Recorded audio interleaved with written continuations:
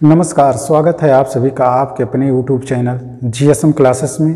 मैं सियाराम वर्मा आप लोगों के सामने फिर एक बार उपस्थित हूँ गणित विषय के साथ, जिसमें मैं आज आप लोगों को एक ऐसे टॉपिक लेके आया हूँ जो आपके एग्ज़ाम के लिए बहुत ही महत्वपूर्ण है।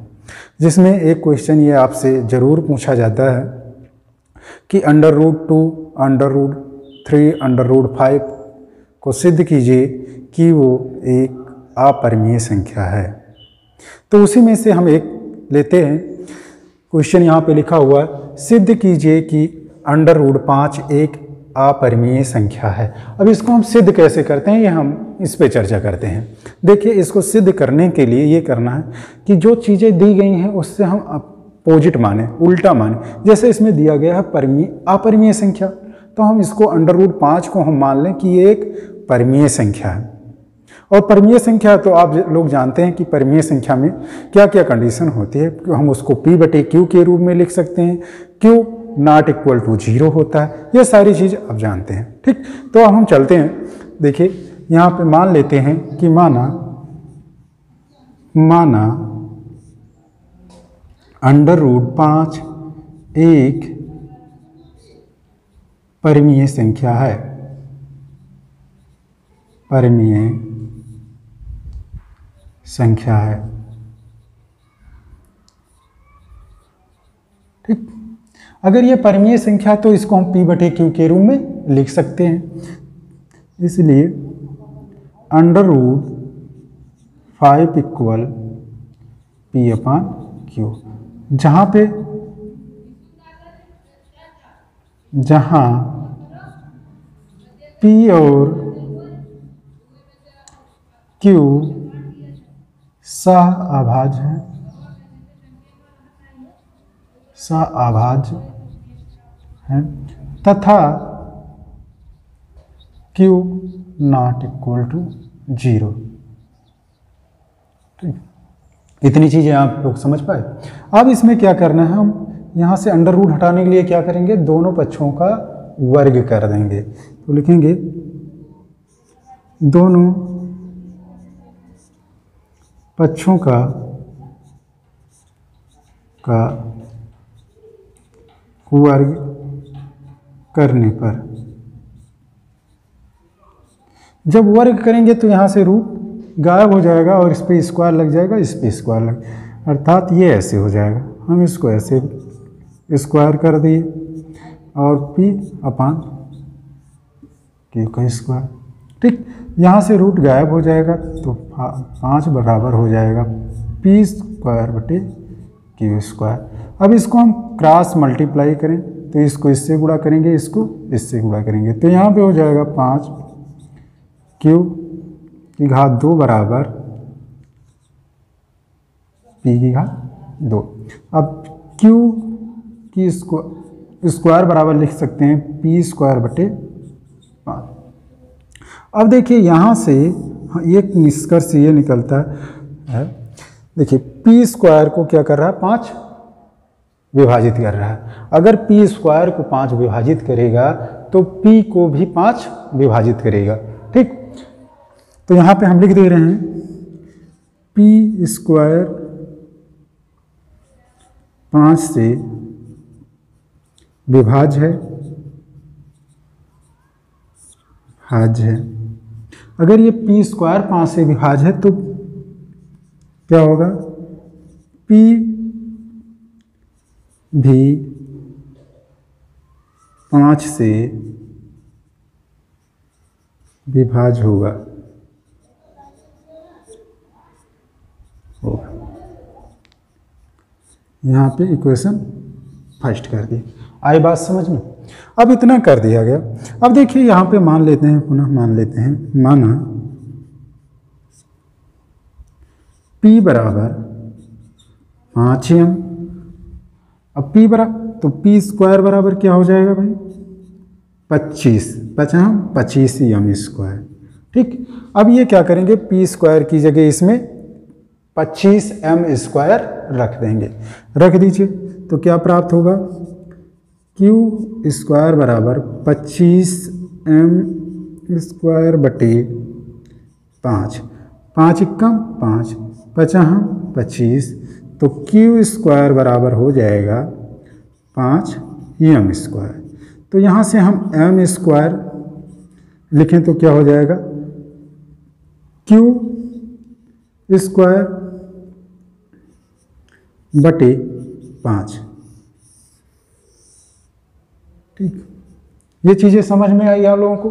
अब देखिए, यहाँ पे क्यू स्क्वायर को भी पाँच क्या कर रहा है? विभाजित कर रहा है। अगर क्यू स्क्वायर को पाँच विभाजित कर रहा है तो क्यू को भी विभाजित करेगा पाँच। जैसे यहाँ पे पी स्क्वायर को विभाजित कर रहा है सेम वही चीज़ यहाँ पे भी लिख दे रहे हैं। देखें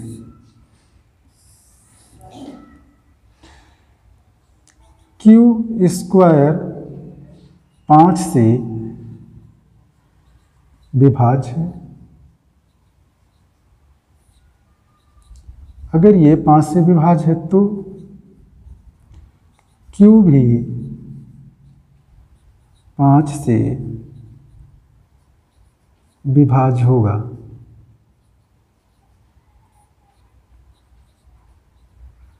होगा। ये आपका क्वेश्चन सेकंड हो जाएगा। अब देखिए, P को भी पाँच विभाजित कर रहा है और Q को भी पाँच विभाजित कर रहा है। तो यहाँ से क्या लिखेंगे? समीकरण फ़र्स्ट और समीकरण सेकंड से अब देखिए, समीकरण फ़र्स्ट और समीकरण सेकंड से ये हमें पता चलता है कि पाँच को जो है पी को भी विभाजित करता है और क्यू को भी विभाजित करता है। अगर दोनों को विभाजित कर रहा है तो इससे हम कह सकते हैं कि पी दोनों का एक उभयनिष्ठ गुणनखंड है। उभयनिष्ठ मतलब दोनों में वो चीज़ें पाई जाती हैं, उसी को हम उभयनिष्ठ कहते हैं। तो यहीं से लिख दीजिए कि समीकरण फ़र्स्ट और समीकरण सेकंड से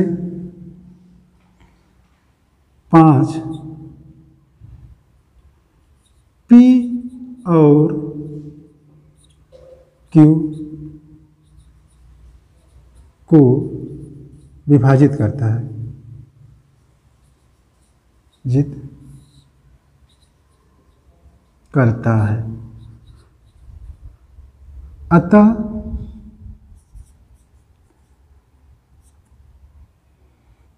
पी और क्यू का एक उभयनिष्ठ, निष्ठ, गुणनखंड,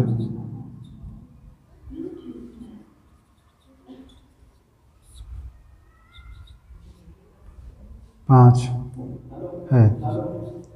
तो P और Q का एक उभयनिष्ठ गुणनखंड पाँच है। अब देखिए, और हमने क्या माना था? कि P और अंडर रूट पाँच जो है वो P बटे Q के रूप में लिख सकते हैं, अर्थात P और Q क्या है? एक परमीय संख्या। और परमीय संख्या में ये होता है कि एक ही गुणनखंड होना चाहिए, वन, इसके अतिरिक्त कोई गुणनखंड नहीं होना चाहिए।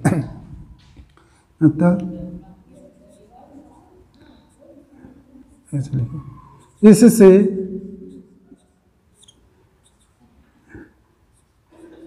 इस तथ्य का विरोधाभास।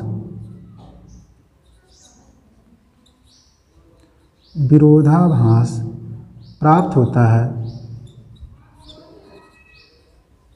होता है कि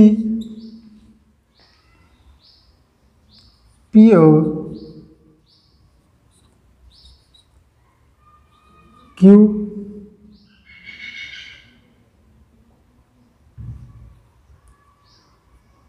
पी और क्यू में वन के अतिरिक्त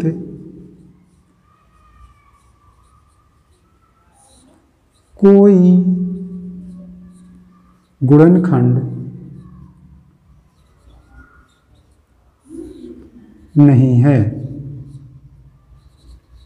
ठीक अब कोई गुणनखंड नहीं है। इसका क्या हो रहा है? विरोधाभास हो रहा है। ये विरोधाभास कब हो रहा है? जब हमने ये ये कब प्राप्त हो रहा है? जब हमारी कल्पनाएँ क्या हो गई? गलत हो गई। हमने गलत मान लिया। यह हमें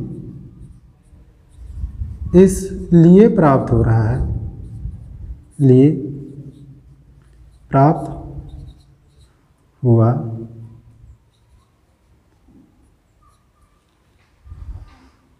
जब हमने गलत परिकल्पना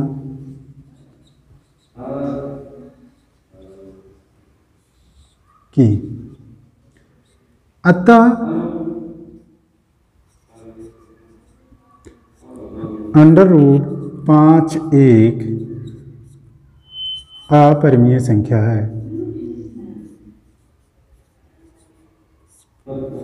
ये संख्या है। प्रूफ देखिए, बस इतना ही इसमें करना होता है। आई बात समझ में?